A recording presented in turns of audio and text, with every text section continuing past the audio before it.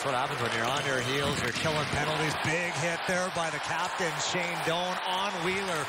That's who you want to get a lick on, and Wheeler gives him a chop. And Yeah, Shane here Doan, goes here we go. Wheeler. Night, night.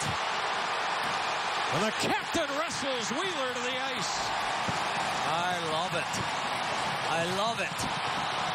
Shane Doan with a big hit. Wheeler comes back with a chop. I love it too, though. Wheeler, he's going to get a couple pats on the pads for his teammates. Shane Doan with a big clean hit.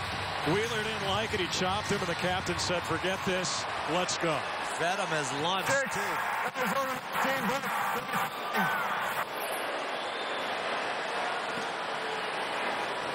Well, here's the original hit. See the captain going to the locker room.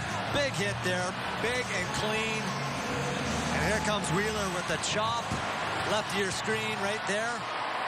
Shane Doan says, you want some of this? Wheeler says, all right.